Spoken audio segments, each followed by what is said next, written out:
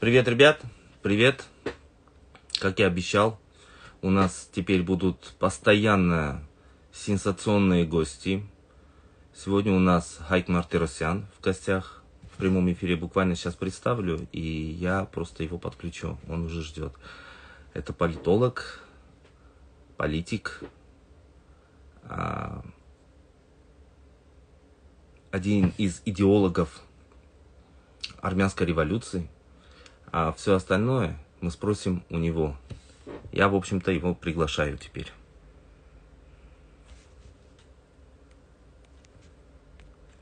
Будет Анушаван Шахназарян. Вы его уже знаете, мы с ним выходили в эфир и общались. Просто и у него есть вопросы, и у меня. Айджан, привет. Бары здесь. Мы будем бороться. Анушаван, привет. Ами, вонсен косум, хайрен тарусарен. Պրոստը իմ հարցերը ռուսերեն է սախ գրած, պատրաստած։ Ռուսերեն ասենք հայերեն թող պատասխանի Հայկը։ Հայգրան Ես խնդիր չունեմ ռուսերենի հետ կապված կախված նրանից թե ինչ լսարան ունեք որտեղից են հիմնականում ձեզ դիտում 65%-ը Հայաստանից է 25%-ը Ռուսաստանից է ընկանն էլ Ամերիկա Ֆրանսիա Կարծում եմ հայերեն է դեպքում բայց ինձ թվում է մի քիչ Ռուսաստանի հայերի համար ավելի է այդ ինչ որ ասում ենք Хайджан, первый вопрос. Я хотел про революцию спросить, но так как у нас ситуация в Сюнике очень такая взрывоопасная, хочу спросить именно про Сюник. Что там происходит, кто организатор и как можно разрешить эту ситуацию? Организатор это, естественно, Баку Санкарой, потом Москва, и, естественно, э, четвертый организатор – это режим Никола Пашиняна. А почему это делается? Просто э, срезаются куски от Армении мало-помалу, очень методично, очень умным образом, и э, отстраняется Сюник вообще от Армении, а Сюник это сейчас сердце Армении. Если нету Сюника, нету Армении, Армении просто не будет. А, это очень хорошо продуманная операция. Мы э, это видим даже э, от реакции армянских так называемых властей, а в действительности режима. Э, мы видим, как они обратились именно к ОДКБ, а не к Москве, потому что есть отдельные документы межгосударственные о взаимной защите, а в действительности о защите Армении со стороны России – которую специально э, не активизирует армянская власть, естественно, по указанию Москвы не активизирует, а обращается в ОДКБ, притом обращается по второй статье, а не по четвертой статье. Четвертая статья предполагает э, активизацию э, э, вооруженных сил союзнических государств или вооруженным образом, точнее, э, защиту э, территории страны, которая подверглась нападению, а вторая статья это просто в принципе про консультации, это ни про что. И вот сейчас э, э, обращается официальный Ереван или режим Еревани э, к ОДКБ, а не к Москве, чтобы Москва ничего так и не сделала. Вот поэтому обращается к ОДКБ. Э, в первый раз в истории ОДКБ это происходит. И по второй статье. То есть ничего так и не будет сделано. Это просто для того, чтобы сделать э, э, это представление, э, которую играют э, в том ключе, чтобы люди думали, что что-то делается, стараются защитить сюника. А азербайджанцы, они очень умно ведут себя, они спокойно, без э, каких-либо эксцессов э, идут вперед, занимают все новые позиции. Это даже не позиция, это просто армянские земли. Э, новые, все новые и новые армянские земли. Вот сегодня вечером уже есть информация подтвержденная, что они заняли позиции над городом э, Горис. Э, ну, это просто, это уже невероятная катастрофа, но нас ожидают еще большие катастрофы, э, если народ не встанет и не восстанет против этой предательской, э, в принципе, турецкой власти Армении. И не освободиться от иго Кремля, которые просто договорились с Турцией и с Азербайджаном и не только предают Армению, но и передают Армению вековым врагам армян.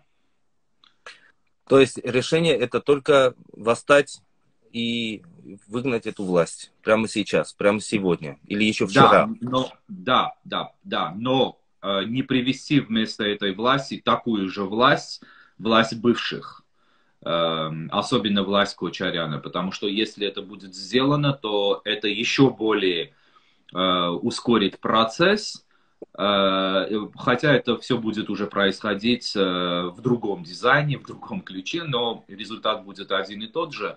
А, потому что, как мы знаем, а, бывший президент, второй президент Армении Кочарян объявил официально и не, и не однажды, что он за более, а, более, большую интеграцию, так называемую интеграцию с Россией, что означает вообще становиться пол, полностью рабами России.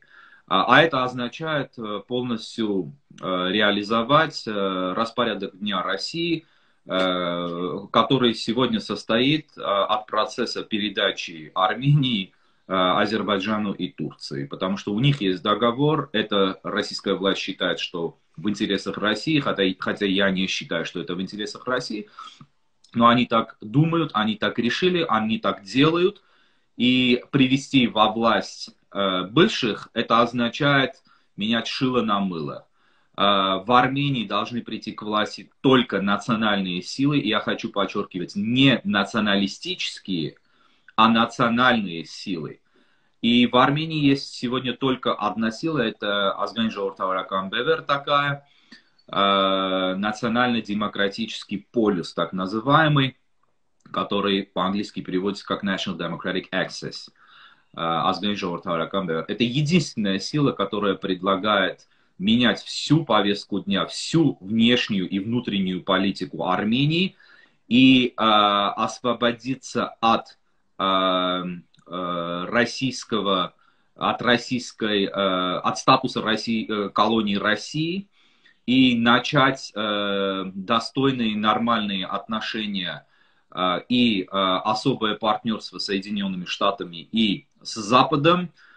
Еще а, кроме этого, начать сотрудничать, а, серьезно сотрудничать с некоторыми странами Ближнего Востока, в особенности Саудовской Аравией и Объединенными Арабскими Эмиратами, которые являются а, сильными противниками Турции и распространения турецкого влияния.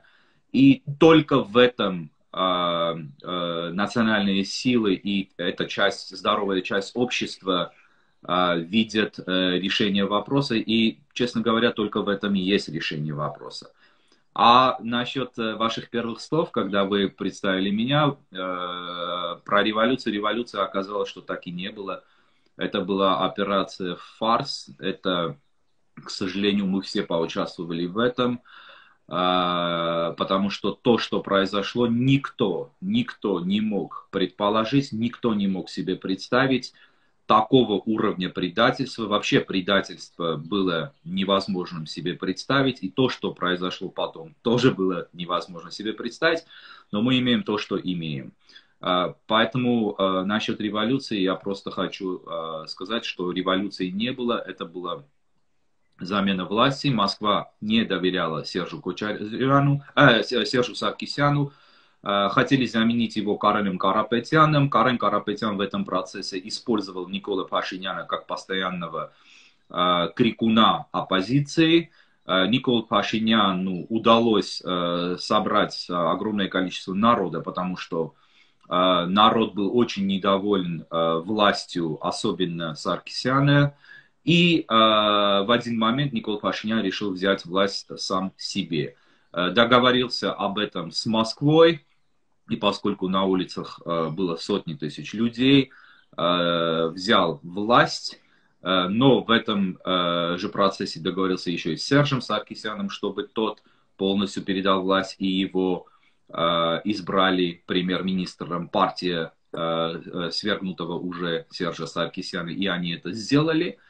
И потом Никол Пашинян, по моему мнению и по моему глубокому убеждению, будучи завербованным турецкими и азербайджанскими спецслужбами, начал реализовать совместный российско-турецко-азербайджанский проект уничтожения Армении, сдачи Арцаха, сдачи семи районов, окружающих НКО, бывшая НКО, Нагорно-Карабахская автономная область в составе советского Азербайджана. Вот эта территория, которая не является Арцахом, это является всего лишь маленькой частью Арцаха.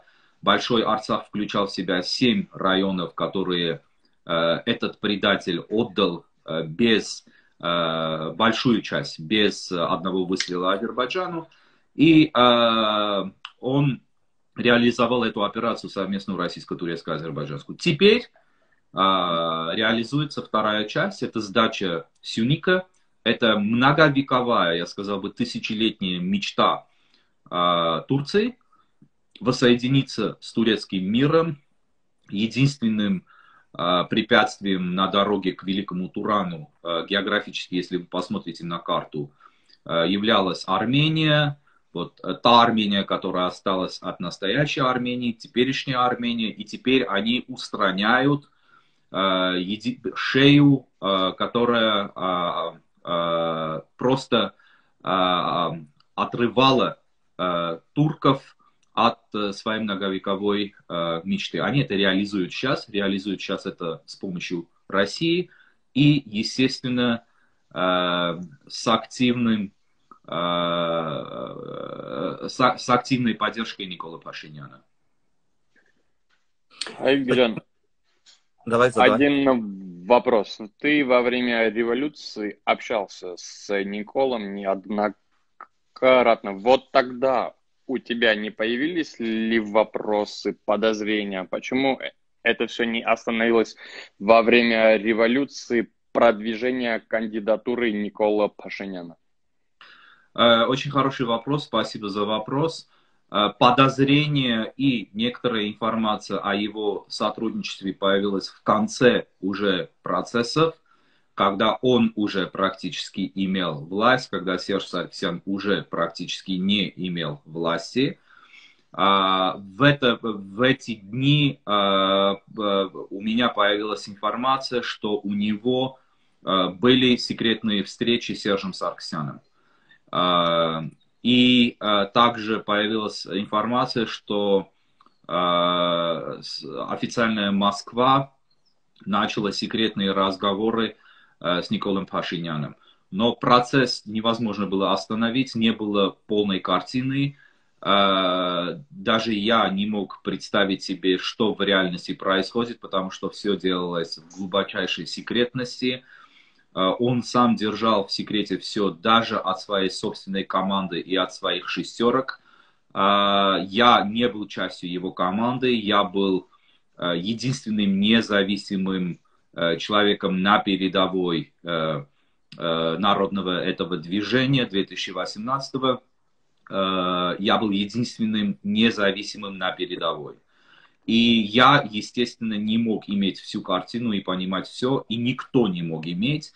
И даже если бы вы спросили бы э, э, людей, которые знали его годами, все равно никто, все знали его личность, личные качества, то, что мы сейчас видим уже но никто не мог себе представить, а, а, что он, а, что вообще какой-либо человек мог быть способен на это, и что он мог, по всей вероятности, сотрудничать с врагами Армении. Айджан, э, сегодня э, так получилось, что армян разделили, Армения, мнение армян разделилось на черных и белых. Либо ты Кочаряновский, либо ты Пашиняновский сетях очень идет, ну, то есть оскорбления идут друг к другу. Э, вообще это специально было сделано так, чтобы вот мы среди путин э, кремлевских выбирали и все, больше ничего не видели. То есть, Очень хороший вопрос. Да, это было сделано специально. Сейчас э, особенно Кремль создает ситуацию, когда Кремлю выгодны оба кандидата, и Пашинян, и Кочарян потому что один заменяет другого. Когда им уже не нужен будет Пашинян и нужно будет его устранить, э, отстранить. Э, на его место они поставят Кочаряна, потому что он уже будет во власти в виде депутата и главы фракции э, Национального собрания, то есть парламента. Эм, это, эту повестку дня также очень сильно толкал вперед сам и делает это до сих пор Никол Пашинян. Ему очень выгодно иметь э, в лице своего главного противника Кочаряна, потому что этим он пугает э, остальную часть народа, э, которое не очень все, э, общество, которое не очень все четко понимает и представляет себе. И он говорит, смотрите, выбирайте меня, поддерживайте меня, чтобы не пришли бывшие. А в то же самое время ему выгодно, чтобы бывшие были на арене всегда и все время. И неспроста он э, арестовал пару раз Кочаряна, ничего кроме этого не сделал, никаких дополнительных обвинений не было выдвигнуто. Выдвинуто все было сделано так, чтобы образ Кочаряна реабилитировался. И Кочарян от политического мертвеца превратился э, в активного и достаточно Два. актуального для некоторых групп в обществе политика. И этим он обязан только и только Николу Пашиняну. Пашинян и бывший режим боятся только той силы, которую я назвал, потому что это единственная сила, у которой есть абсолютно другая повестка дня, э, совсем новая реальность, предлагается новую, новая реальность, и это единственная сила, которую видят э, в качестве реального врага и бывший режим, и настоящий режим. А чем эта новая повестка дня, я это тоже скажу и закончу, чем эта новая повестка дня, она важна, потому что ты не можешь делать веками одно и то же, э, быть колонией России и все время терять только земли, все время терять территории и людей, все время не развиваться – и ожидать, что теперь будет лучше, когда уже все со стороны официальной Москвы было сделано настолько открытым и наглым образом во вред Армении. А, теперь нужно уже понять, что а, как минимум столетняя, а вообще почти 300-летняя колонизация Армении со стороны России должна закончиться, и она заканчивается, потому что Россия сама отказывается от этого и передает Армению Турции. И выйти из-под влияния России, а, начать отношения с Западом. Также Москва, официальная Москва, скинули а, на арену такой тезис, что нам не надо ни с кем быть, нам не надо а, ни под кем, так называемо, ни под кем быть, это они так говорят, чтобы, потому что мы должны сами стать сильнее и так далее, встать на ноги и противостоять врагам и так далее. Это невозможно. Армения и, впрочем, никакая другая страна, а особенно Армения, которая имеет до сих пор активных врагов, которые хотят уничтожить Армению, не в состоянии, ни в коем случае, не в состоянии сама встать на ноги и сама э, восстановить себя. Это абсолютно невозможно единственная сила в мире, которая способна это делать и которая считает, что в своих интересах это делать именно на этом историческом периоде, это Соединенные Штаты Америки. Я понимаю, конечно, что в постсоветском пространстве, особенно в Армении, есть а, а, абсолютная американофобия, что Запад и Америка ассоциируются с, с так называемым гнилым Западом, это термин, который родился Э, в Советском Союзе, и эта ментальность, она до сих пор э, действует и осталась. И, и э, надо от этого отказаться, надо понимать, что да, еще задают вопрос, а Америка хочет ли э, иметь в качестве союзника Армению? Нужно Конечно, ли? Хочет. Это, это, это, это, это очень в интересах э, Соединенных Штатов. Вот именно сейчас э, это на передовой интересов Соединенных Штатов, также Европу, и мы видим также э, э, это в словах французского президента Эммануэля Макрона. Хайкджан, один вопрос, Эдмондон. Извини, сейчас пошли вот такие большие спекуляции. Если Армения возьмет курс на Запад, именно это сейчас пошли спекуляции, что будет с армянами России? Примитивный, но такой вопрос. Ну, сейчас они раскачут. Бу будет то же самое, что случилось с грузинами в России? Скорее всего. Хороший вопрос, году. спасибо. Скорее всего. но извините меня, потерять Армению из-за общины России, которая завтра даже не будет армянской, то есть вы сами живете э, в России, вы знаете, как быстро ассимилируются армяне в России. Они становятся часто во втором, в третьем поколении э, больше русскими, Ивановым, чем нужно. русские сами. сами. А, вообще армянская диаспора, она долго вне, в не мусульманских странах не живет. Диаспора не остается. Это естественный процесс также. Особенно в России, где из своей кожи вон лезут, чтобы стать русскими. Но, естественно, это очень важная община, это очень важная, очень важная часть армянского народа, но эта часть должна понять, что если их выдворят, если они опасаются за свою э, э, безопасность, за св- свою безопасность и за свою жизнь, и свои бизнесы, то это не то место, где можно жить. Амер- американские армяне могут говорить против американской власти, могут говорить против политики Армении. Э, Армения может э, в теории испортить отношения с Америкой и испортила, но американские армяне никак, никак, даже те, у которых нет гражданства, не боятся за то, что их Америка выдворит, потому что это демократическая страна. В Америке можно жить, но в России армянам э, дальше делать нечего. Армяне должны понять, либо они становятся русскими, меняют фамилии, делают то, что делали армяне после геноцида в Турции, и те, которые хотели остаться жить в Турции, стать турками, да, а сейчас армяне должны принять решение, либо они становятся русскими, либо с ними что-то будет. Потому что э, это не то место, где к армянам относятся хорошо, а теперь еще будут относиться еще хуже.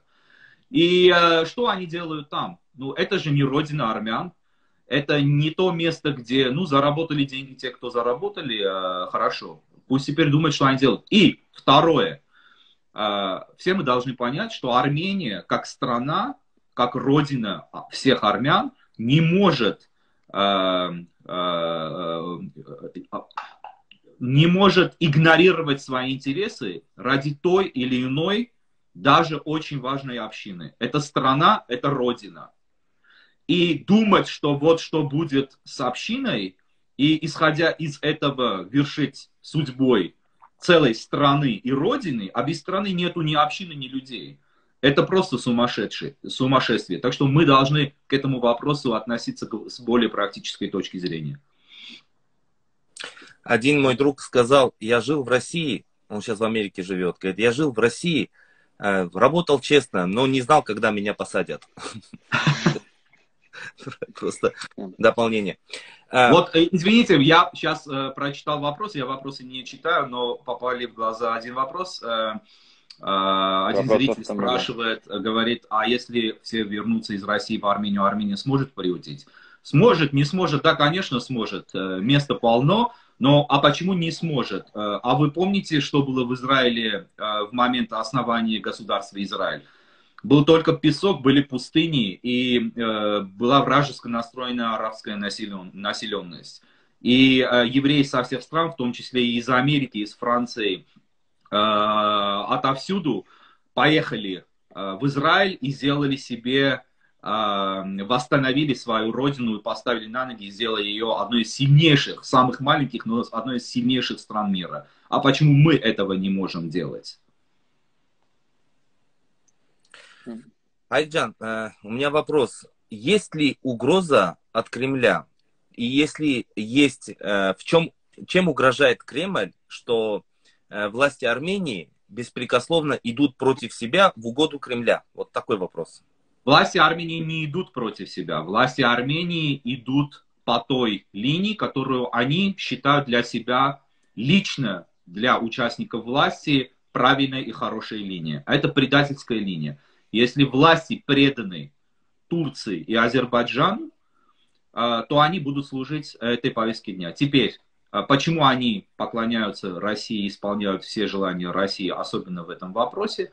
Потому что Пашинян пришел к власти с а, позволения Москвы, он договорился с Москвой, потому что по всей вероятности, я-то сто процентов уверен, но говорю по всей вероятности – у Москвы есть серьезный компромат на Пашиняна, потому что он понимает, что все его, так скажу, вероятные сделки, например, э, с президентом Азербайджана Алиевым, э, э, зафиксированы российскими спецслужбами России, потому что это будет его концом и так далее. Когда человек или какая-то сила является э, грязным агентом какого-то другого государства и правит какой-то другой страной, то э, эта власть не имеет никакой самостоятельности. Она полностью зависит от своих заказчиков и будет исполнять все заказы, которые придут к нему. Акджан, в чем вы видите национальную цель? Национальная цель сейчас, номер один, это спасти Армению. А как можно это сделать, я уже сказал. А, потом национальной целью должно быть восстановить утерянное, потерянное, сделать нормальное, достойное государство.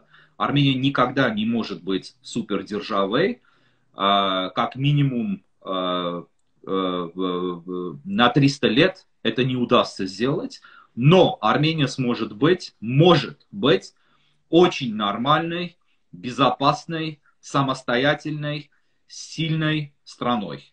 Если только нам удастся э, спасать страну. Потому что сейчас процесс идет к полному уничтожению армянской государственности и армянства. Это не преувеличение, к сожалению, это факт, мы это видим, это происходит на наших глазах. Армения по всем политическим и политологическим определениям является failed state. Есть такой термин.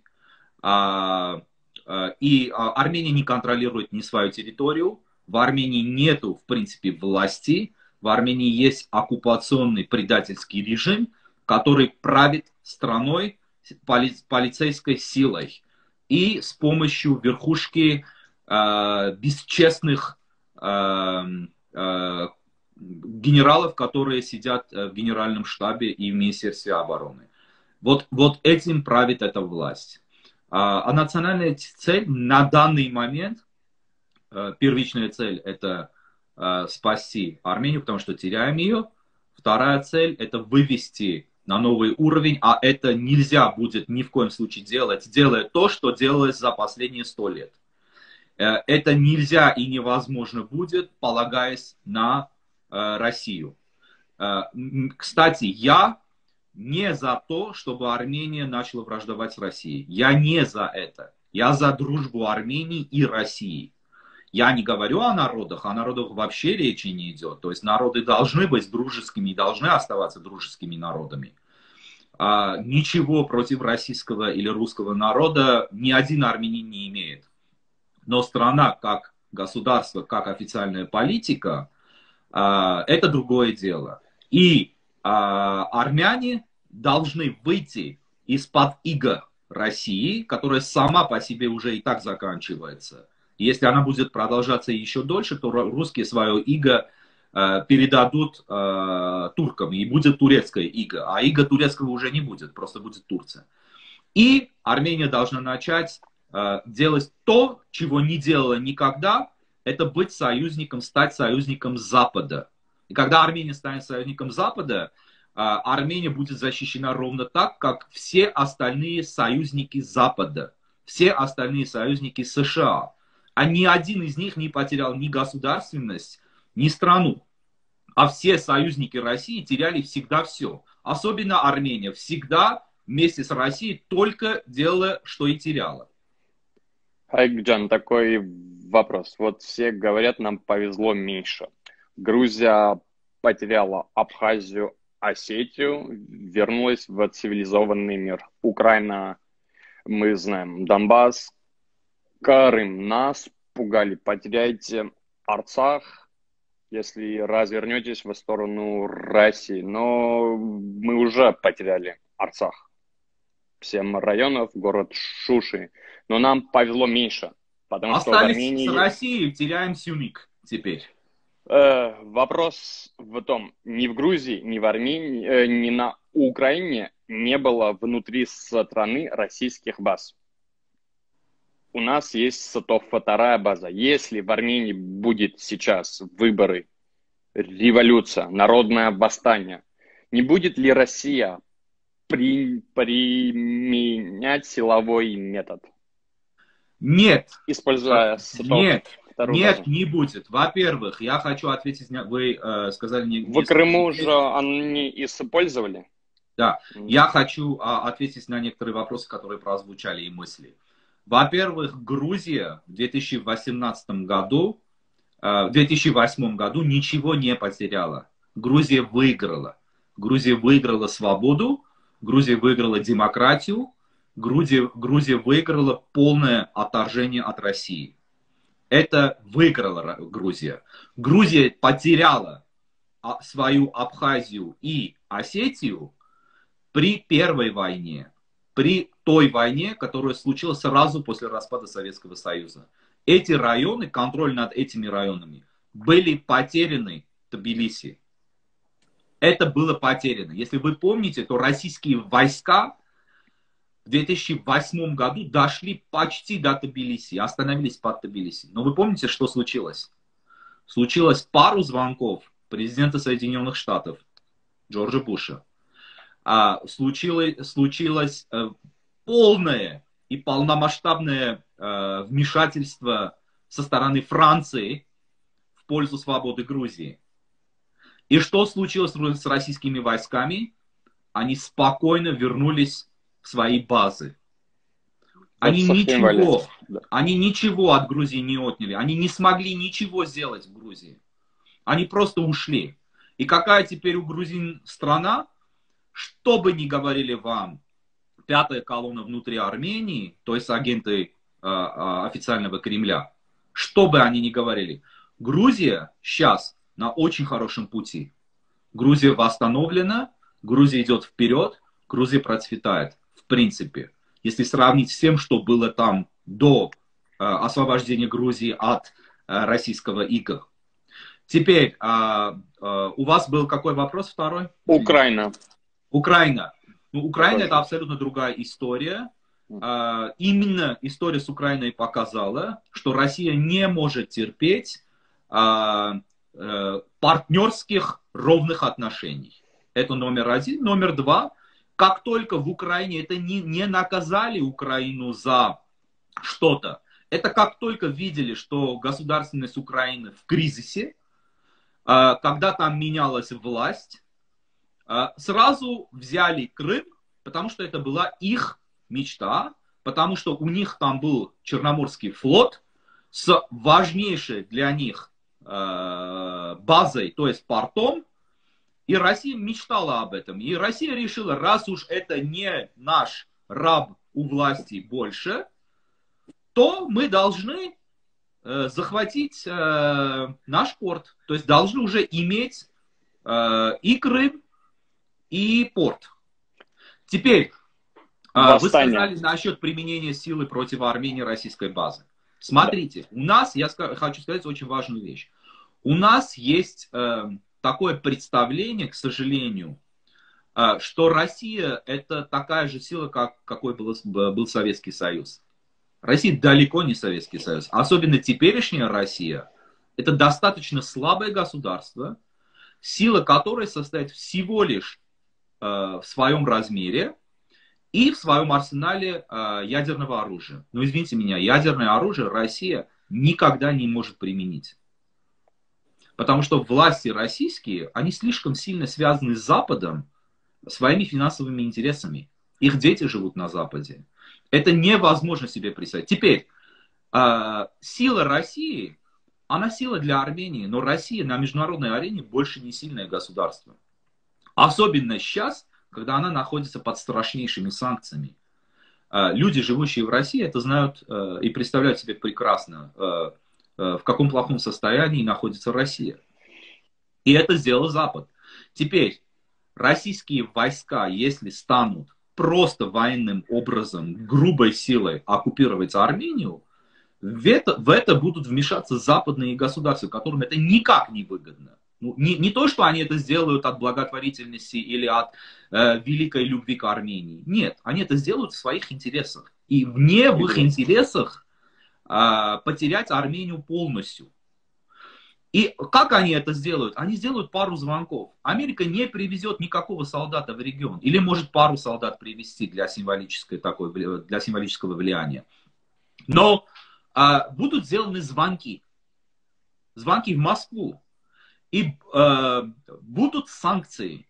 А такие санкции, которые еще могут быть наложены, они просто поставят Россию на колени.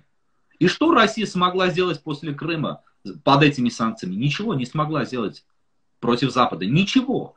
Россия только теряет свои позиции, все теряет и теряет. Хотят они этого из-за Армении или из-за своего договора с Турцией? Вообще получить большие э, экономические проблемы внутри России? Нет, они этого не хотят. Так что э, э, устрашать людей российским буквальным захватом военной силы Армении и так далее, это просто, это просто как минимум нечестно. Этого быть не может. Если, конечно, армяне, некоторые армяне, которые имеются и внутри Армении, и в диаспоре, и э, среди тех подписчиков, которые некоторые из них пишут какие-то вещи, а, вот, вот если они не пригласят эти войска а, взять Армению, чтобы потом передать Турции. Ну, ну, но этого не, не произойдет. Айджан, почему Америка или Франция не вводят санкции против Азербайджана за то, что во время войны они так нарушали, ну вообще за их, э, за то, что они страна агрессор и все такое. Почему не вводят хоть одну санкцию, чтобы мы уже убедились, что Запад нам... Смотрите, хороший вопрос. Смотрите. Америка – это сферодержава, мировая сферодержава. Мировые сферодержавы имеют дело почти со всеми государствами мира. Это не региональная держава, это сферодержава мировая. Это самое сильное государство на свете. А это означает, что Америка имеет влияние во всем мире, имеет отношения во всем мире, имеет врагов во всем мире тоже. А если Америка будет вводить санкции против всех нарушителей прав человека, против всех варваров и так далее, то в мире останется очень мало стран, над которыми Америка будет продолжать иметь влияние.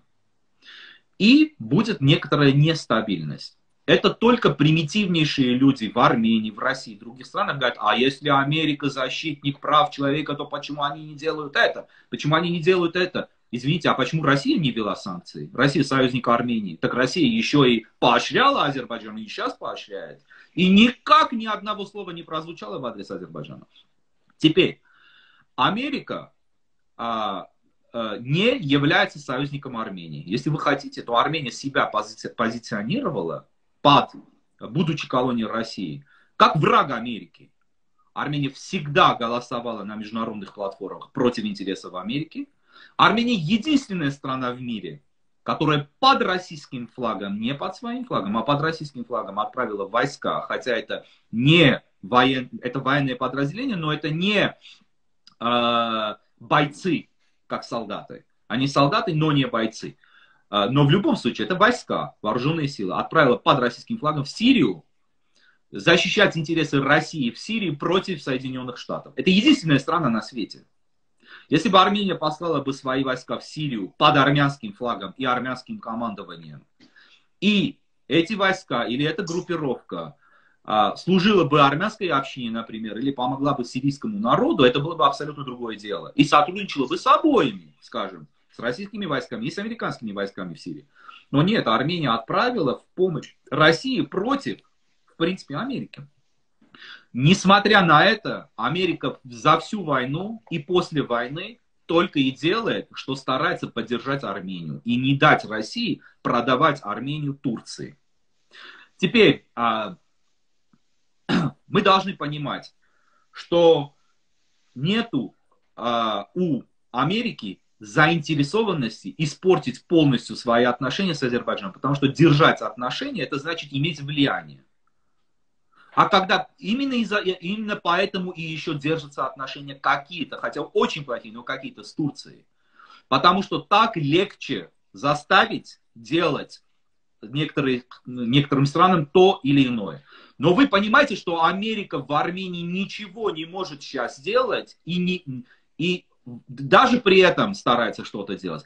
Потому что большая часть армянского общества не понимает, что Америка друг, а Россия ведет себя, как сама выбрала вести себя как враг Армении, выступать на стороне Турции и Азербайджана. армянское население в основном это не понимает. Когда ты не хочешь, чтобы тебе помогли, когда ты говоришь, дайте мне утонуть, и кусаешь руку, которая хочет тебе помочь и вынуть тебя из воды, эта рука будет тебе помогать?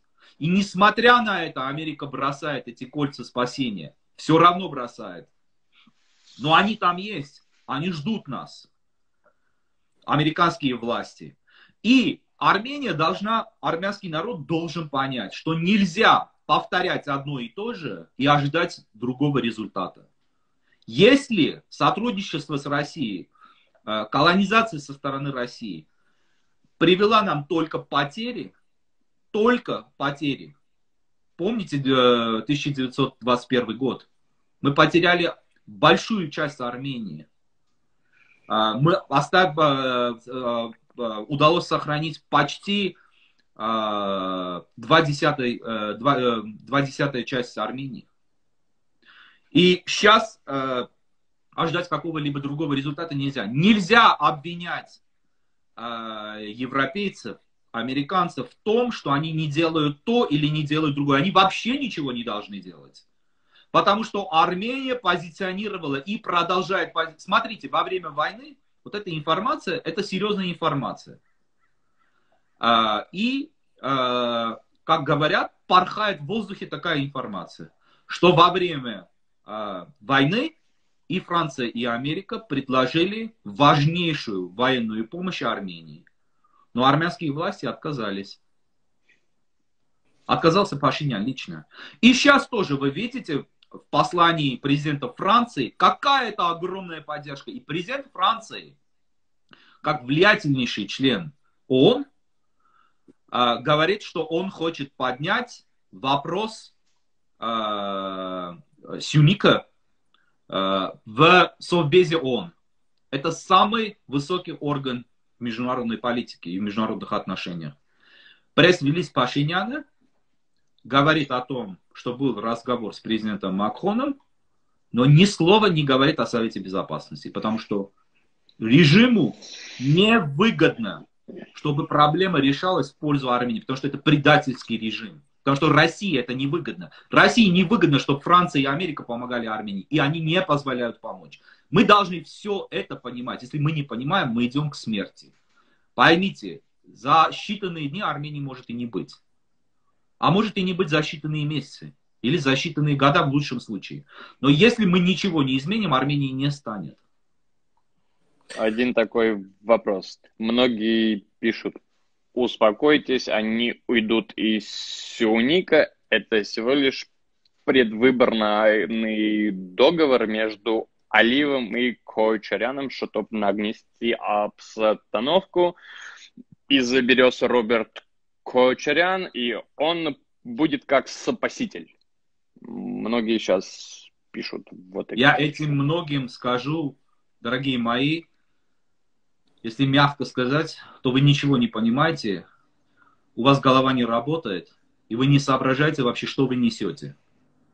Азербайджанцы никогда ниоткуда не уходят, кроме как под силой. А силу применять не будет никто. Если будут применять силу, то да, возможно, они уйдут. Какой вам договор? Какое идиотство? Это договор между Россией, Турцией и с Азербайджаном. И с Пашиняном. План такой, я написал об этом на своей страничке. А, кстати, могут люди подписываться. Hike A. Мартиросян. По, а, по-английски пишется. На латинице я написал э, статус, какой сценарий сейчас э, будет действовать. Это э, вторжение Азербайджана, которое уже происходит. Сколько они смогут, столько возьмут.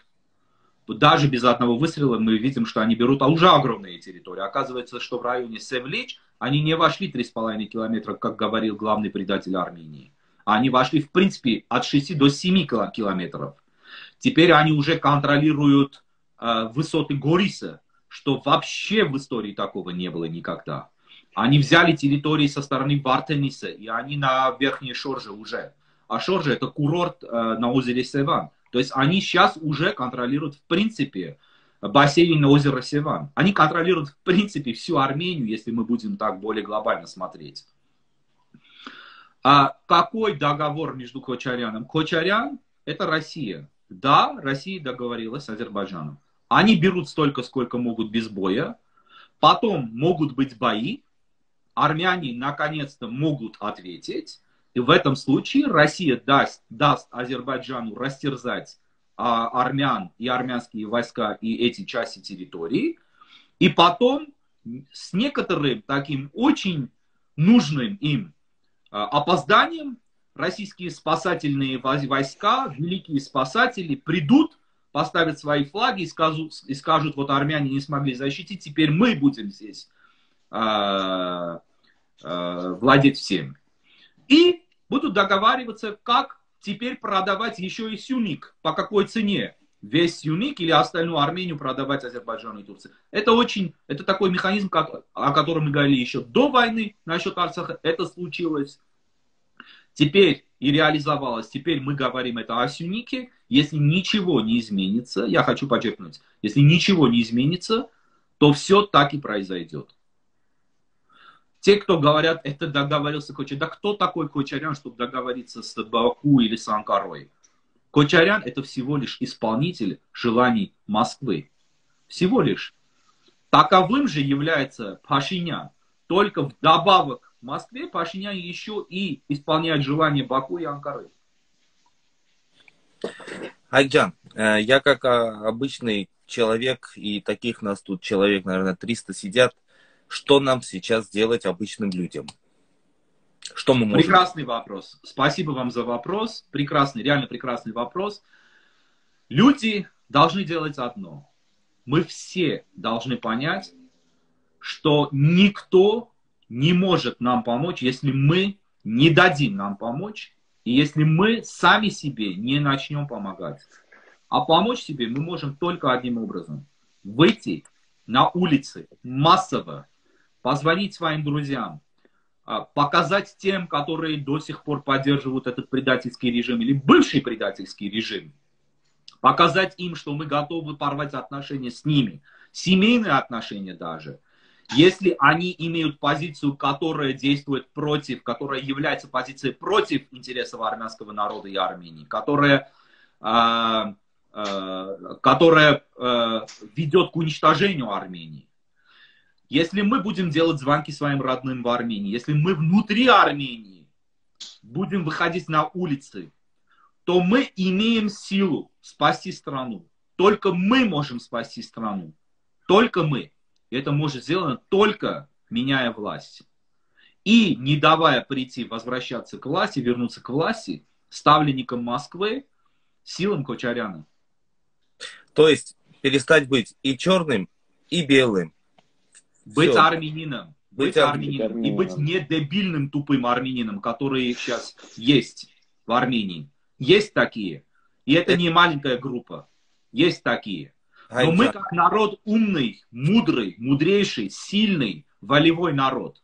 Нам нужно просто проснуться э, со сна, встать на ноги и взять э, свою э, вообще свою жизнь в свои руки, свое спасение в свои руки. Если мы не выйдем на улицы, если мы не поменяем власть, не приведем к власти национальных сил, Армении не будет. Шансов нет у Армении. Нету второго варианта. Никто нас не будет спасать. У России есть свои интересы. Россия считает, что ей выгодно дружить с Турцией против Запада. Россия считает, что спасти российскую э, экономику под санкциями. Э, экономика сырьевая причем. Э, экономику может только турецкая экономика и дружба с Турцией, а цена за это является, э, ценой за это является Армения. Россия приняла свое решение. Армяне должны просто не продолжать сидеть на своих же собственных руках, должны встать и должны взять а, а, ситуацию в свои руки. Никто. И, и, и еще последнее, извините, мы никогда не должны больше думать, что все для нас решено. Что эта сила решила, та сила. Ни одна сила не может решать ни за один, даже за маленький народ, если этот народ полностью против этого. Афганистан вам в пример. Тысячелетиями в Афганистан Э, Афганистан захватывают великие империи великие государства, И никто из этих, ни одно из этих государств не одержало победу над афганским народом. Почему? Потому что весь народ воюет, весь народ э, на ногах. Это другое дело, что у них нету страны, а нету страны, потому что все время война. Извините, а могло и вообще не быть а, афганцев. Там могли сейчас быть абсолютно война, другие там. народы, если бы афганцы не, не сопротивлялись бы, э, например, советским войскам или э, другим войскам. Западной коалиции. Айджан, э, будет ли символично, если армяне выйдут и к посольству Америки, прям там место встречи? Ну, это делается во всем мире. А, армяне, которые понимают, что происходит, а таких уже немало, а, общество просыпается постепенно, э, ну, качественная часть общества, естественно, и э, многие армяне уже э, освободились от этой советской, большевистской и постсоветской ментальности, что Америка – это гнилой Запад, это враг Армении, а чем Америка помогала Армении, а кого Америка поддерживала вообще мир. Вот от этих идиотств люди освободились. И, ну, символически нужно, да, конечно, мы это делаем э, внутри Америки тоже. Э, армяне должны показать, что американская помощь, она нужна Армении, что армяне понимают, что Америка это единственная страна, которая может помочь Армении, и которая хочет помочь Армении, потому что это в интересах Америки тоже. Интересы Армении и Америки, армян и Армении полностью теперь совпадают. Это отдельный разговор. Если у вас будет время, я могу объяснить как-то. А, и это нужно показать Америке и американским властям. Я со своей стороны могу сказать, что то, что мы видим на Земле, это то, что американские власти реально э, начинают понимать, что есть э, уже часть общества в Армении, это уже немалая часть, которая понимает, что дружба с Америкой может быть очень выгодна для Армении. То есть не очень выгодно, а может быть спас, спасительно для Армении. Хайкджан, очень... Давай, задавай. Нет, Джан, ты задавай. Очень... Спасибо. Очень коротко, Хайгаджан, очень коротко. Мы потом про это в другой день поговорим про сегодняшние общие интересы США и Республики Армения. Очень коротко, если так можно, чтобы было какое-то либо понимание. Тур... Турция понимание. агрессивное государство. Турция, будучи не партнером Америки, Турция член НАТО, но это э, единственный член НАТО, который действует против интересов НАТО. И НАТО это прекрасно понимает. Нету механизма выгонять Турцию из НАТО, поэтому это не делается. И это не выгодно, потому что выгодно иметь его в НАТО и этим хоть немножко контролировать его действия. А ни одно агрессивное государство, которое имеет амбиции стать региональной или вообще материковой или мировой империей, не выгодно Америке. Не выгодно Америке иметь таких государств в мире, особенно агрессивных и таких, которые представляют опасность для безопасности либо региональной, либо вообще мировой. Турция теперь является таким государством. Турция идет на распространение, на расширение, на э, восстановление Османской империи, но уже в другом формате, еще более сильном и более агрессивном. Это абсолютно невыгодно Америке. Турция во вред Западу идет на союз с Россией. Уже Э, состоять в союзе с Россией, это тоже невыгодно ни Америке, ни Западу, ни Франции, ни, ни, ни одной стране. Даже 99% арабских стран, арабских стран, это арабским странам это невыгодно. Самым влиятельным арабским странам это точно невыгодно. Саудовской Аравии, потому что они соревнуют с Турцией за а, превосходство в мусульманском мире. И с арабскими а, объединенными эмиратами, которые являются ближайшим союзником а, также военным союзником Саудовской Аравии. Это невыгодно, в принципе, никому. Это невыгодно даже Индии и Китаю. И это означает, что особенно Америка не хочет, чтобы Турция съела Армению. Потому что это станет бесконтрольной страной, которая будет вытворять вещи, которые будут вредить не только американским, но и вообще интересам всех развитых и передовых стран мира. Это невыгодно. Армения это буфер, Армения это островок, который не дает, особенно сюнит, который не дают турецкой мечте сбыться. Вот почему это, это, это, это самое главное. Есть другие причины тоже. Это самая главная причина, почему Америке выгодно помогать Армении, почему Америка хочет помочь Армении. Проблема в том, что есть такие люди, которые вот некоторые пишут комменты, которые этого все равно не понимают, которые не способны это понимать, они просто не созданы такими, чтобы понимать реальности. И э, которые э, противодействуют спасению Армении, изнутри Армении. Айджан, э, кого ты видишь во главе нашего государства? Я вижу, э, я не вижу, э, не хочу называть, точнее, конкретных имен. Я вижу любого э, члена правления, или даже не члена правления, но любого участника, видного участника национально-демократического полюса. Бевер АЖБ. Любого.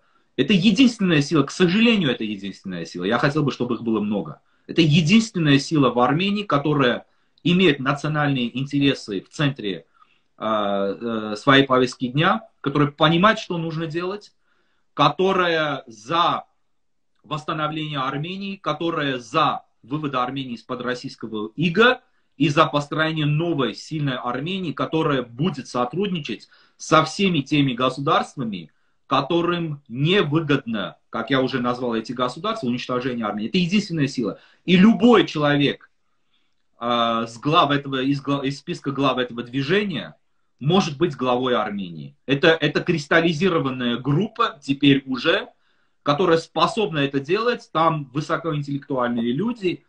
И э, это единственная сила, которая предлагает то, что, чего не было раньше. А то, что было раньше, всегда приводило к нам к катастрофе и краху. А кто сейчас во главе этой партии? А, это не партия, это движение. Возможно, движение. это станет партией. А, главы нет. Вот в этом тоже а, есть интересный момент, потому что это коллегиальное, коллегиальное руководство. Это больше десятка людей, которые являются коллегией, правлением. А, и э, туда входят э, известные люди. Жираль Сефилян, э, Арап Апян, Ваужан Аветисян и другие, другие люди. Но я вам назвал Гайгин Чуказян, я вам назвал несколько имен. Всего лишь несколько имен. Тигран Хазмалян. Тигран Хазмалян входит? Уже ушел. Нет, Тигран Хазмалян ушел. Тигран Хазмалян ушел вместе со своей партией. А, а, Тигран Хазмалян больше не является частью а, этого движения. Еще вопрос, почему, так как я являюсь администратором этой группы, очень многие говорят, что Жирайс и Филян это всего лишь кучаряновский человек. Поэтому ну, понимаете, ну кремлевский, кремлевская пропаганда же не будет сидеть сложа руки. Но они же должны испортить имидж э, настоящего героя Первой войны, настоящего лидера, национального человека, лидера, в принципе, одного из лидеров движения, которое единственное ставит в центре повестки, своей, э, повестки дня своей э, отстранение России э, из Армении. Ну, как-то должны портить это. Для тех, которые ничего не понимают. Ну, должны что должны сказать? Должны сказать, что это Сарасята. У нас... Должны сказать, что это проект Кочаряна. Должны сказать, что это проект э, планеты Марс. Ну, а... э, всякий а бред должны сказать. Много времени не будем на это тратить, я понял тебя. Одна минута у нас осталась. Э, оказавшись перед Пашиняном, что бы ты ему сказал? Я бы ему ничего не сказал бы. Остальное э, оставляю вашему, вашему, э, вашей фантазии. А Кочаряну? А Кочаряну мне сказать нечего. Для меня и Кочарян, и Пашинян почти одно и то же. Не одно и то же, но почти одно и то же. То, что сделал Пашинян, конечно, в армянской истории. И я вам скажу, я достаточно хорошо изучил, э, изучил примеры. Э, такого примера, как Пашинян, а, нет. А, Таких, как Пашинян, не было. Да? Сейчас мы выйдем в эфир, потому что время уже тут лимит есть сейчас. Сейчас Да.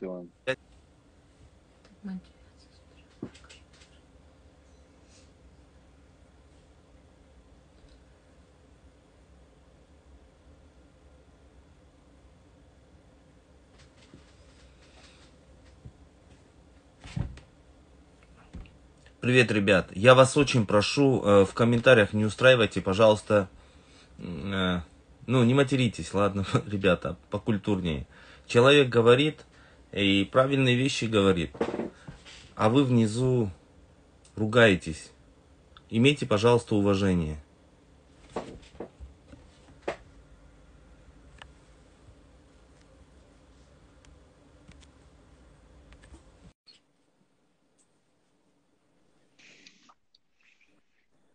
Да, довольно сегодня у нас насыщенно очень, разговор. Очень. Очень, много. Айджан. Шару Хорошо. Айджан, э, оказавшись на посту премьер-министра, э, первый день, что будешь, какие законы принимать и что ты будешь делать? Ну, премьер-министр законы не принимает, принимает решения, законы принимает э, парламент. Ну, но это должен быть комплекс, комплекс решений. Э, их э, в первый же день должно быть как минимум десятки, если не сотни сразу. Э, но в первую очередь это, это естественно,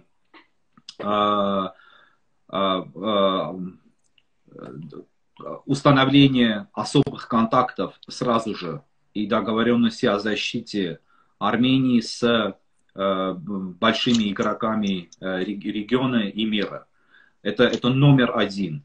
А, номер два э, это договоренность о том, об экстренном снабжении оружием Армении и о восстановлении вооруженных сил Армении, потому что вооруженных сил сейчас нету. И нету, по-моему, целенаправленно это было сделано. А, вот это самые первые шаги, но их в первый же день должно быть не то что десяток, а, наверное, сотню. А, когда будет, подожди, Айджан, ой, э, Анушаванджан, Айджан, скажи, вот э, люди, когда выйдут, э, революция, да, если придет Пашинян, а вообще вопрос, придет, если Пашинян, будут, будет ли новая революция, люди выйдут на улицы против него? Что вы имеете в виду, если придет Пашинян? Ну, Пашинян на Италии. Умная масса поняла, что он предатель будут выходить на улицы, как когда-то выходили за него? Очень хороший вопрос. Я, честно говоря, не знаю, я уже понятия не имею. Все, что происходит в Армении с армянами, поведение нашего общества, это не влезет ни в какие исторические рамки, ни в какие политологические рамки. Аналогов в мире нет. Ну, в истории человеческой нет аналогов такого поведения, как наше общество, я не хочу сказать народ, народ выше, чем общество, народ лучше, чем общество, но наше общество ведет себя катастрофически плохо. А я не знаю, что будет. Возможно. Я надеюсь, что какой-то форс-мажор будет, и э, этим форс-мажором будет восстание народа. Вдруг в один день мы станем и поймем, что люди на улицах, и что они решили взять свою судьбу в свои руки. Это надежда. Я не знаю, превратится это в жизнь или нет. Я не знаю, никто, по-моему, не знает. Ну, не, то, что не, случилось, это, это вообще невозможно было себе представить в самом кошмарном своем сне. Но это случилось с нами, потому что мы дали этому случиться. А, местные олигархи, которые в Армении живут, а, что про них скажешь? Не будут ли они кидать палки в колеса и Э, поднимать свои ЧВК, частные военные компании против мирного населения, которое выйдет, потому что потеряв, ну, у них активы с Россией же куда интереснее. Э, вот такой какой-то вопрос странный. Тоже очень хороший вопрос, не странный, он хороший Такая вопрос. А, в интересах олигархов, э, чтобы власть осталась, некоторые, в интересах некоторых олигархов нет, но в основном да, потому что олигархи сотрудничают с этой властью, а олигархи находятся под колпаком и под каблуком России. Естественно, они будут мешать, но кто их будет спрашивать, кто вообще с ними будет считаться, когда народ э, встанет на ноги? Кто, кто? Это люди, которые только и думают о деньгах. Например, Пашинян имеет своих личных олигархов, которые за э, просто интеграцию с Турцией. И они об этом говорят почти открыто. Почти открыто об этом говорят эти олигархи. И все, что их интересует, это их деньги, их торговля с Турцией, с Азербайджаном и так далее и тому подобное. Их э, недвижимость, которую они хотят продавать турецким инвесторам или турецким бизнесменам в Армении. Они об открытую об этом говорят. Э, другое дело, что многие это не замечают или не хотят заметить. Но э, кто с олигархами вообще будет считаться? Если народ встает, Перед народом никто не может, не может стоять. Никто. Но у них же есть свои вооруженные силы, это они же будут провокации. Это не вооруженные силы, это бандитские вооруженные группировки. Они тоже никто в сравнении, с, в сравнении с народом. Если народ, если армия станут на ноги, если полиция наконец-то перестанет быть э, служителем турецких интересов и служителем интересов э, предателей, и полиция перейдет в сторону народа, то кто может перед народом стать? Какие группировки вообще? Никто ничего не сможет делать. Народ сметает все на своем пути. Просто народ это не осознает сейчас. Народ сложил руки и говорит, за нас все решили. Все. А мы ничего не можем делать, если русские уйдут, турки нас съедят. Они забывают, что у американцев есть самое грозное оружие на свете. И это не э, э, ядерная бомба. Это телефон. Это телефонная трубка. Из белого дня один звонок Турции Азербайджану на очень серьезных тонах. И все остановится. Но это не может быть сделано для абсолютной колонии России, где колонизированные хотят умереть. Этого не может быть. Айджан, э, смотри, вот ты сказал, позвоните вашим родственникам, те, которые все еще боготворят Пашиняна. Ну вот, я, допустим, взял телефон, звоню своему родственнику, который боготворит Пашиняна. Э, самые основные тезисы, как я его могу переубедить. Вот именно самые основные, что должен был делать, что не сделал, вот смотри. Вот э, как-то вот так. Я, как вижу, у вас очень много хороших вопросов. Спасибо за вопрос. Все тезисы, э, изложенные на страницах или видеоматериалах АЖБ, Азган Жортаракан Бевер, ну пусть просто начнут смотреть, пусть будут слушать Араб Апиана, будут слушать других э, э, лиц э, АЖБ, пусть будут слушать меня, пусть посмотрят этот твой эфир, э, в котором я, по-моему, достаточно многое сказал и постарался вкратце привести. Э, примеры и э, обоснования тому, что я говорю. Ну пусть люди э, откроют свои мысли, откроют свои глаза, задействуют свои мозги, а те, которые остаются на стороне Пашиняна, они не армяне. Они думают, что они армяне. Они служат турецким интересам, они сопутствуют уничтожению Армении. Это, это, это для меня они уже, особенно со вчерашнего дня, перестали быть э, не то что армянами, вообще кем-либо. Айджан, но это нет, это наши братья и сестры, наши армяне, просто мы их будем убеж... не, не убеждать, а открывать глаза. Смотрите, такое. очень много армян в Турции, которые остались в Турции, приняли ислам, э, туркифицировались, теперь мечтают об уничтожении Армении. Это тоже наши так называемые братья армяне. Яничары. армяне.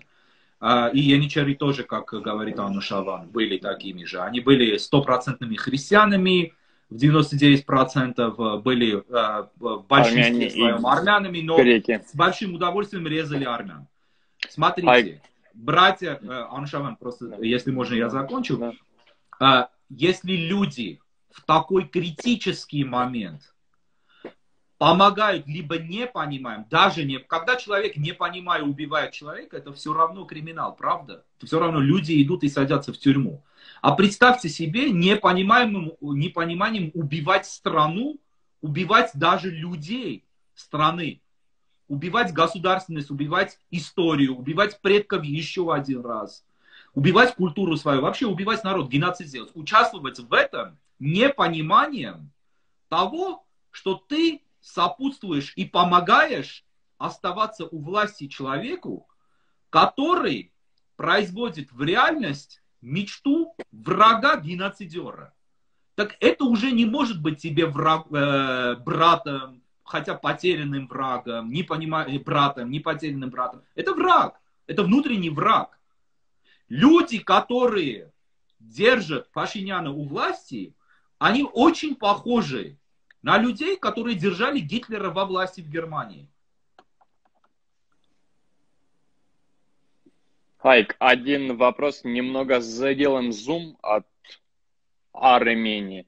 Э, Твое мнение события в Израиле и вчерашний конфликт сына Бин, Биньямина Нетаньяху с Эрдоганом? Ну, Ты Турция же... хочет, как я уже сказал, Турция хочет установить гегемонию э, в, не только в регионе, но и во всем мусульманском мире. Э, мало кто знает, что Турция помогает денежно мусульманским общинам или мусульманским странам даже Африки. И открывать школы даже в Африке. теперь, Турция, теперь Турция хочет э, э, стать лидером мусульман, и для мусульман очень чувствительная тема палестино-израильский конфликт и э, вопрос Аляксы, потому что Алякса, мечеть Алякса, это одна из трех величайших святынь исламского мира. И э, то, что происходит вокруг Алякси, то, что происходит э, с палестинцами или э, с израильтянами, Турция считает э, в своих интересах быть вовлеченным в этом, естественно, на стороне палестинцев. И случилось то, что э, логически к чему шло, Турция поддержала палестинцев против Израиля и назвала израильтян геноцидерами и так далее и тому подобное. Израильтяне как народ и страна себя уважающая, понимающая свои интересы и никогда не прощающая нападение на себя, это очень, это очень сильный народ с очень сильным пониманием достоинства, чувством достоинства. Они ответили Турции, и теперь они будут вредить интересам Турции.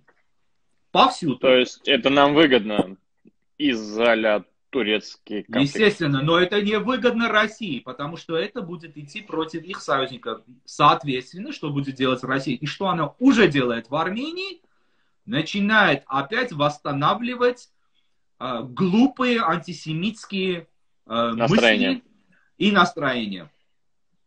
И специально это делает, чтобы Армения вдруг, как это делали в советских времен, чтобы Армения вдруг не сблизилась с Израилем. Все время напоминают, что Израиль поставлял оружие Азербайджану и так далее, но Израиль хотела поставлять оружие Армении тоже в 2016 году. Об этом а, объявил замминистра обороны тогда, потом ставший министром обороны Давид Тоноян. Он объявил, что Израиль предложил, а Армения отказалась. Почему отказалась? Потому что русские сказали, отказывайтесь. Вам не нужно дружить с Израилем. А кто эти глупейшие антисемитские настроения вообще э, культивирует в Армении? Кто? Не армяне же. Армяне очень похожи очень многими чертами с евреями. И евреи жили в Армении очень давно.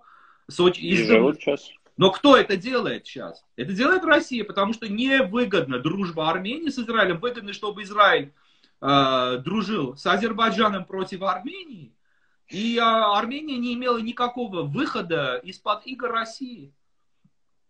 Я сегодня днем хотел поставить флажок Израиля и Армении и типа дружба, но потом подумал, что меня будут осуждать. Не то, что осуждать, на вас напали бы тысячами, потому что Люди не понимают, люди не понимают, что а, с Израилем нужно дружить, что никто еще от вражества с Израилем никакой выгоды не имел. Сидят и кричат, что Израиль поставлял. А почему Израиль должен был вам поставлять оружие, если вы отказались? Почему Израиль должен был дружить с вами, если вы даже посольство не открывали в Израиле? Если вы специально если делали все, чтобы показать всем, что вы против Израиля? Если вы вообще все делали против Израиля, а почему Израиль должен был дружить?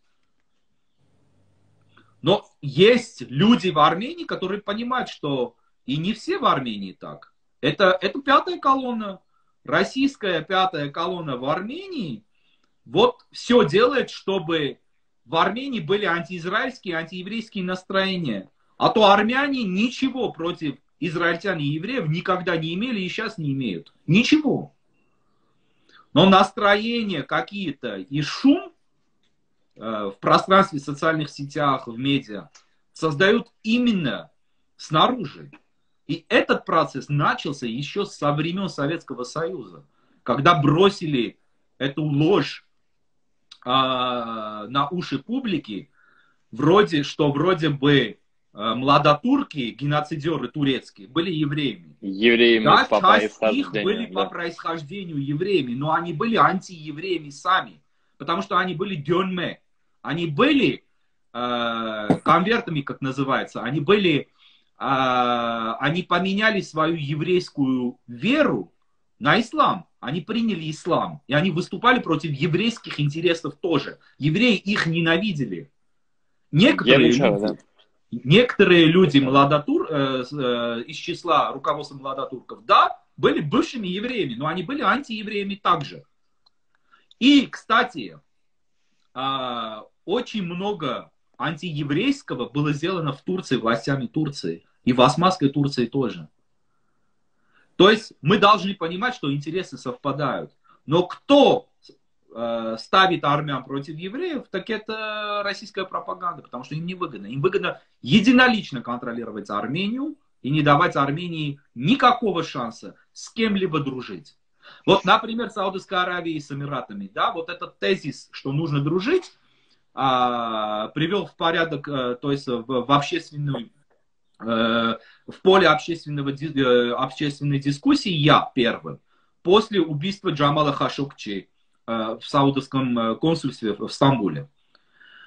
Мы видим, что во время войны президент Армении Армен Саркисян полетел в Объединенные Арабские Эмираты. И мы знаем, я-то знаю, что Армен Саркисян имеет личные связи с королевскими семьями двух этих влиятельнейших арабских государств нефтяных супердержав. А, и а, предположительно Арабские Эмираты а, предложили а, некоторую помощь Армении, но помощь не была принята. Хотя президент все хотел делать, чтобы это случилось. А Саудовская Аравия тоже. Саудовская Аравия запретила турецкие продукты демонстративно именно в дни войны. Магазины и начала, закрывались. И, и начала действие против турецких интересов в арабском мире.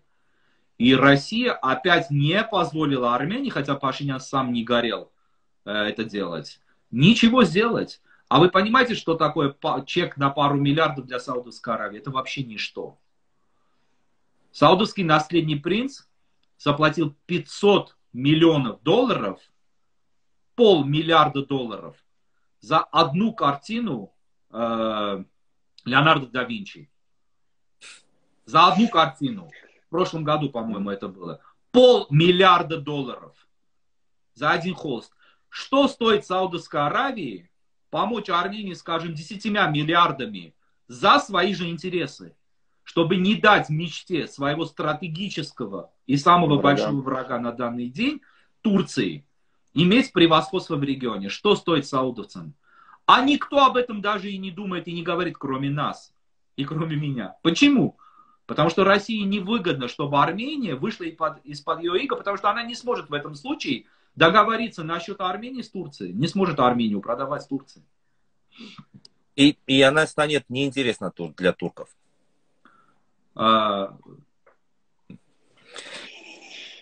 Так, Хайджан, э, сын э, Бениамина Нетаньяху у себя в э, Фейсбуке или где-то сказал... Вот в Твиттере. Про да, можно Были. сказать, неофициально признал геноцид. Это случайность или... Нет, конечно. К этому Нет, идет? конечно. Во-первых, Нетаньяху, мало кто знает, кто такой Нетаньяху. Нетаньяху по своей биографии, в том числе и политический, наверное, самый, э, самый непростой и самый очень хорошо все рассчитывающий политик в истории Израиля. И он самый долголетний премьер-министр Израиля. Это один из умнейших руководителей Израиля, один из умнейших политиков в истории Израиля. А, ничто, особенно в public relations сфере, в пиар, ни у Нетаньяху, ни в его семье не происходит спроста, просто так. Но, естественно, они должны были это делать. Естественно, это делается уровнем сына. Но сын, естественно, представляет отца.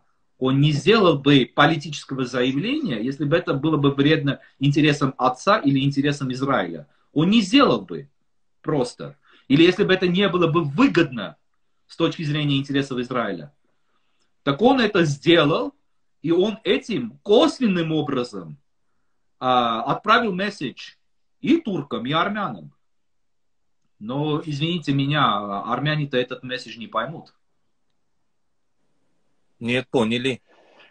Это поняли, поняли мы с вами, поняли, э, поняли На... очень многие люди среди нас. Но, но армянское общество все равно этот месседж не очень хорошо-то понимает. Что это означает? Они читают, да, понимают, что сказал. Но что это означает, мало кто понимает. А, это, дверь, а это дверь в серьезное сотрудничество ар, ар, ар, армяно-израильское. Но Мы никто специально... эту дверь в Армении пока не будет открывать, к сожалению. Айджан, мы э, вот эти эфиры теперь делаем постоянно, чтобы, ну, и это работает, я так понял, это работает. Сотни людей потом в своих компаниях делятся, и рассуждения идут, и я понял, что это очень хорошая задача, миссия, которую мы взяли на себя. Постоянно ведем э, вот эти беседы. У нас был и Саркис Цатурян, знаешь, наверное, такого политолога тоже. Э, в принципе, мысли... Мне у вас, да, и Тигран Хазмалян у нас был, мысли совпадают у всех одинаково, что разворот нужен на восток. Но Россия просто так не отпустит. На запад. На запад. Россия просто так не отпустит же. А кто вот. просто так кого-то отпускает? Извините вот. меня, муж, который бьет жену, насилует жену и э, вообще калечит свою жену, не отпускает же свою жену. А что делать жене? Умереть в руках э, э, насильника мужа? Нет, конечно. Ну как-то находят же э, выход. Как-то убегают же от насильника мужа, который в итоге, в конечном итоге убьет жену. Мы же видим, мы, мы знаем много примеров, когда это произошло, даже в Армении. Но находят же женщины, спасаются те, которые уходят. Что значит не позволят? Естественно, не позволят. Но зачем мы должны слушаться этому? Зачем мы должны говорить, вы знаете что, нам хотят отрезать голову, нам не позволят убежать. Давайте не будем предпринимать попытки убежать. Ну, раз уже решили за нас, ну, давайте пойдем умереть.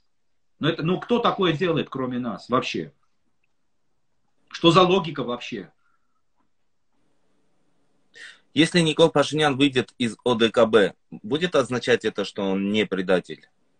Никол Пашинян не выйдет из ОДКБ, и нет, это не может э, этого означать. Это будет, он этого никогда не сделает, а, а, но если даже сделает, то сделает по приказу, если даже такой фантастический сценарий будет Москвы, чтобы а, показать, что виновником было ОДКБ, скажем, там Таджикистан, или Казахстан, или Беларусь, а не Россия.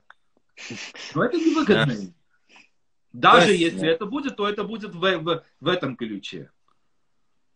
Завтра у вас митинг, я вот так слышал. Что да. это за митинг, что это? Расскажите немного. Но мы стараемся делать то, о чем я сказал. Вывести народ на улицу, поменять ситуацию в Армении, спасти Армению. Но это как-то громко звучит, но извините меня, Армению нужно сейчас спасать. Армения теряется. Это я смотрю в Фейсбуке, в Инстаграме, люди, девушки, молодые парни ставят счастливые фотографии из ресторана, селфи делают, держат камеру перед своими лицами. У меня впечатление, что люди не понимают, что всего этого завтра может и не быть. Я не знаю, кто сможет без Родины жить, но я не смогу, честно говоря. Я думаю, что вы тоже не сможете, а то вы бы не, не делали бы эти эфиры. Но многие люди этого не понимают. Мы хотим сделать так, чтобы они начали понимать. И поэтому я в последние два дня э, говорю, делаю выражение такое, говорю, дорогие мои, поймите, что вы теряете не только Сюник, но вы потеряете и кафе Каскада, вы потеряете и Северный проспект, вы потеряете и эти э, крутые рестораны Еревана тоже. Что вы потом будете делать? В Лос-Анджелесе, в Нью-Йорке или в Лондоне вы этого не сможете сделать уже. Это не будет тем, что вы имели в Ереване. Вот, вот этим только уже остается некоторым э, дать понять, э, что происходит вообще. А вообще происходит то, что если так пойдет, то в течение месяцев Армении не будет, Макс. Если так пойдет. Я надеюсь, что так не пойдет. Я надеюсь, что это все остановится. Но поймите, ситуация катастрофическая, это не преувеличение. Азербайджанцы и турки, они не как армяне поступили. Как по-идиотски себя мы вели в 94 году. Идиотски. Алкоголик Ельцин позвонил предателю Армении того времени и сказал, останови свои войска. и войска остановились. Акт о капитуляции не был подписан, и армяне начали переговоры о сдаче освобожденных исторических и легальных земель Азербайджану за ничто, за ноль, за воздух. Что было? Этот воздух явля, являлось признанием Арцаха, Карабаха, которое ничего не дало бы. И мы сейчас видим, что на признанную республику Армению нападает Азербайджан без оружия даже. И захватывает все. И не смотрит, признанное, не признанное. Вот это предательское идиотство, что мы сделали, азербайджанцы они не делают. Они победили с помощью предателей в Армении и с помощью России. Армении, теперь они уничтожают армянскую государственность. Потому что они понимают, что они, если дадут Армении жить, Армения восстанет, и армяне под уже национальным руководством, будучи мудрой нацией, будучи воюющий за свои интересы, за свои права и за свои земли нации, освободит все. И они это понимают. Поэтому они идут до конца. Они дойдут до Еревана, если мы ничего не сделаем. У них есть одна цель. Уничтожить армянскую государственность и Армению полностью. Они могут оставить Ереван в качестве независимой армянской Араратской Ереванской республики. Как подарок, чтобы миру показать, и чтобы все армяне собрались туда, те, которые бежать не могут. Или денег не имеют куда-то уйти чтобы показать, что они не совершили геноцид, что они вроде бы, по своим словам, по их словам, освободили свои исторические земли, так называемые. Понимаете, они не такие, как мы. Я понял. Хайджан, скажи, если все-таки американский щит поставим, у нас в армии будет этот американский щит, а, мы сможем вернуть Арцах? Абсолютно. Да, абсолютно. Не только Арцах. Будут процессы в регионе. Турция распадется, в какой-то день это случится. И этот день не очень далек. Мы должны быть в том положении, чтобы как союзник Америки, с помощью Америки, а, опять восстановили себе то, что было от нас отнято. Отнято с помощью России еще в 2021 году. 1921 году. Московским договором. Да, и не только. Мы должны идти к восстановлению Уильсонской Армении, президента Уильсона. А, да, Почему да, мы а, этим столько лет не оперируем? Потому у что у нас Уилсон... предательские режимы изначально, которые, начинал, начиная со времен Тер Петросяна, действовали под влиянием Турции и России. Вот почему. Потому что Россия никогда не хочет иметь Армению сильной, видите Армению сильной. Она хочет ее иметь в качестве раба бессмощного, чтобы продавать этого раба. Россия не хочет иметь сильного друга, который будет рядом с ним, поддерживать его. Россия хочет иметь раба, который будет делать все, а потом, которого можно будет по хорошей цене продавать. Ровно то, что Россия делала всегда со своими союзниками, всеми союзниками, абсолютно всеми союзниками. Во время войны я поддерживал Никола, честно скажу, не буду лукавить. Мне многие говорили, не поддерживай ни того, ни того. Кто-то кричал Кучарян, кто-то в общем, я поддерживал, мне казалось, он такой добрый, хороший человек и реально помогает. Он просто не знает, запутался, не туда летит, не там берут, что-то там спит, пропускает важные звонки. Ну, как-то сам себя оправдывал, честное слово, как-то... Обнадеживал сам себя. Да, обнадеживался сам себя. И, ну, я проснулся, ребята. Ну, я смотрите, проснулся. да, говорите. Нет, я просто, это не вопрос был, это просто то, что я был я во время Крыма носил футболки с Путиным, честно скажу. Потом проснулся. Я живой человек, друзья мои. И я не мамин бунтарь, чтобы постоянно отпираться. И советую вам также просто включите, червячка запустите в голову, подумайте, что происходит. Эдмон, я за это э, вас уважаю, потому что люди, которые способны просыпаться, меняться и осознать свою ошибку, или видеть вещи. А, они могут ошибаться, они могут ошибаться немножко дольше, чем другие. Но ошибаться всегда и до конца – это недопустимо. А те, которые осознают свои ошибки или осознают реальность, они достойны уважения. Поэтому я говорю, люди, которые после вчерашних сюникских происшествий все еще продолжают э, э, защищать Пашиняна или Кочаряна, это уже э, безнадежные люди. Это уже уничтожители армян. Еще я хочу напомнить, что я э, тоже, оказывается, что ошибся во время так называемой революции, да, поддерживаю, будучи одним из, в принципе, трех независимых лидеров этого движения, э, но я единственный и первый на всем э, армянском политическом поле стал жесткой, жесточайшей оппозицией Пашиняна первым еще осенью 2018 года. Я видел тут один коммент, в котором написали, что он обижник, типа я. Я хочу сказать, что те, которые так говорят, это идиоты. Это было давно, это было в прошлом эфире, то есть пару минут назад. А, но я хочу сказать, что этот тезис кинул именно Пашинян на поле, точно по российским технологиям, чтобы дискредитировать человека, который его критиковал. А, вроде я не получил должности, и поэтому пошел против него. Нет, я первым увидел, кто он, я пошел против него первым, я начал требовать его ухода первым, и в этой части, по этой части моя совесть чиста.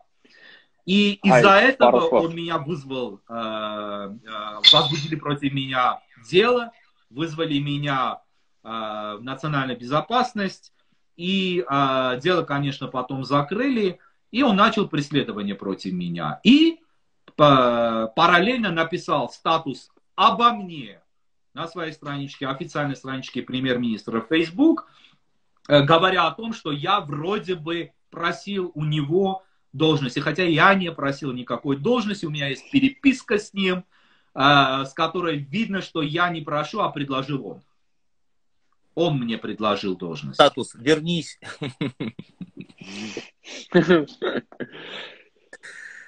Эм, ну, Айджан, два вопроса. Э, что вас, когда вызвали в КГБ Армении, они какое давление, с какой стороны они вам... Ну, внутри нас безопасности давления не было. Это давление будет, я думаю, когда, э, или если я буду в Армении, э, сейчас уже, то есть если в будущем я буду в Армении, это уже будет давление. А тогда давления внутри не было, э, требовали объяснений, какие у меня есть факт, факты насчет того, что я обвинил, что есть, имела место коррупция насчет Амусары потому что в это время я возглавил э, в своем роде э, протестное движение за сохранение Амусара, э, а Никол хотел его уничтожить и до сих пор хочет. И я просто объяснил и сказал, и, конечно, они это представили потом в другом свете, но это, понимаете, это сейчас абсолютно неважные вопросы в сравнении с тем, перед чем мы стоим.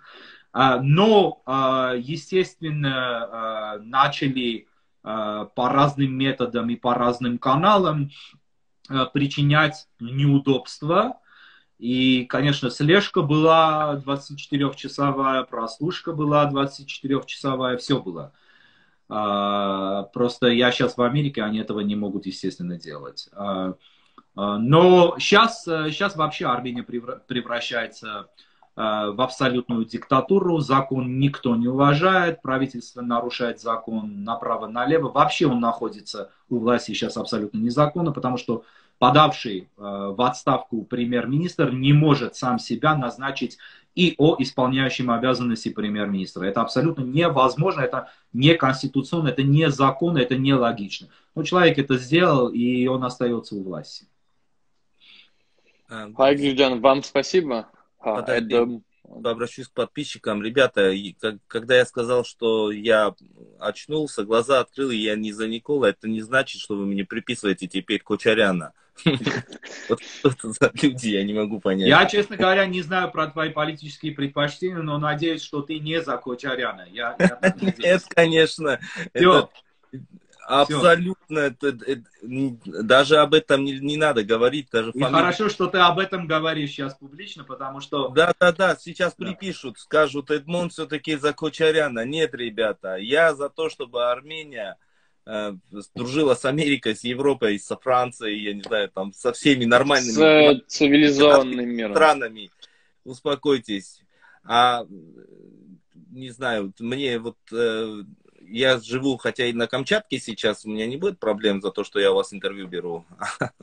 Очень возможно, что будет, будут проблемы, очень я, возможно. Нас могут смотреть из э, вообще армянского, там, этих спецслужб армянских? Что значит могут? А, конечно, смотрят. Конечно, смотрят. Ну, привет, ребят. Привет всем.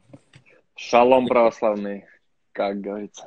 Так, ну что, Айган, очень было приятно с вами беседовать. Надеюсь, это, мы должны эти беседы постоянно делать. Это не то, что мы один раз поговорили. Регулярными, да. Регулярно. Мы раз в две недели мы должны выходить, у нас будут новые темы, и мы все равно должны этот вопрос поднимать и постоянно говорить. Потому что человек такой, телевизор-то сильно работает российская, российская пропаганда каждый день работает, мы не можем каждый день делать. И в нем бешеные деньги влаживаются. А, у нас очень, сердце. Очень большое. А... Спасибо вам большое и спасибо за вашу позицию. Спасибо за очень хорошие вопросы. Спасибо за время. А знаете, почему они хорошие вопросы? Потому что мы не профессиональные журналисты, мы просто задаем то, что у нас на сердце. Ну, по-моему, вы, вы, вы в некоторых случаях лучше, лучше многих профессиональных журналистов э, э, да. задали вопросы. Профессионалам не все можно задавать, поэтому а любителям все можно задавать. Спасибо большое за беседу. Ребят, всем спасибо. Да, этот эфир я сохраню. Кто не успел смотреть, смотрите. Все, я вас всех выключаю. Обнимаю всех. Пока. Так.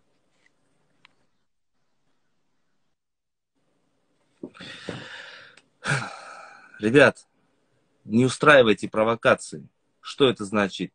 Ты за Кочаряна, за Пашиняна, я против их, твоих двух. Не знаю даже, как правильно сказать, вы меня разозлили уже. Мир с вами.